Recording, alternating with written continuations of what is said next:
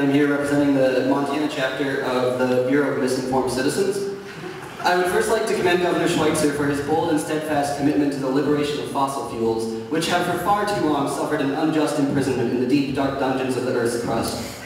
Furthermore, on behalf of the Bureau, I would like to say that we are very impressed with the Governor's ability to convince the average folk that he supports clean and green energy, while at the same time promoting the mining of Otter Creek coal, which if burned would effectively double Montana's carbon footprint, completely nullifying any of the Governor's current or future clean energy initiatives.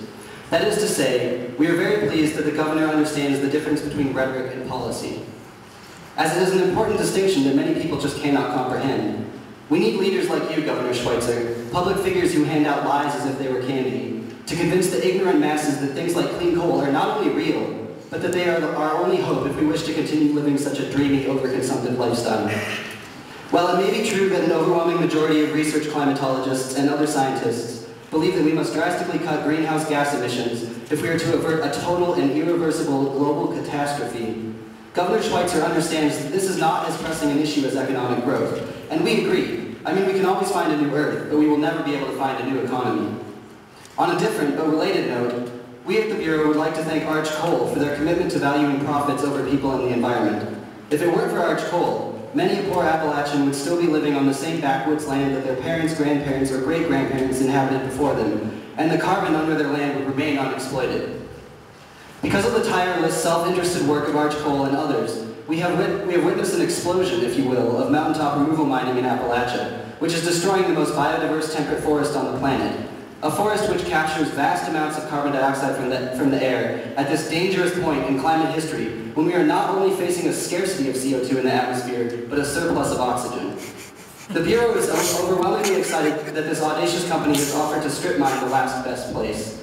As Montana citizens, we consider it a great honor that such an illustrious megacorporation as Arch wants to dig up our coal and ship it to China, where it can be burned without any regulatory rubbish such as Clean Air Acts or carbon caps. As the prospect of national climate legislation threatens to limit greenhouse gas emissions in the United States, we are extremely impressed with Arch foresight and ingenuity in dealing with this problem, and we hope that the Land Board will help facilitate their success.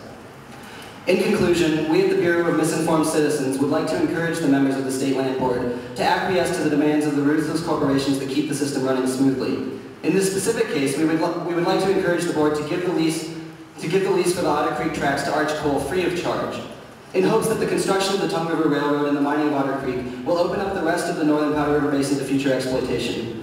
We would also like to suggest that Denise Juneau reconsider her opposition to leasing the tracts. It is our opinion that as Superintendent of Public Instruction, Denise Juneau should ignore the outpouring of opposition to coal development expressed by Montana's high school students over the past few months. The youth of today simply cannot wrap their heads around the sublime logic of unchecked industrial development. Thank you very much. Thank you.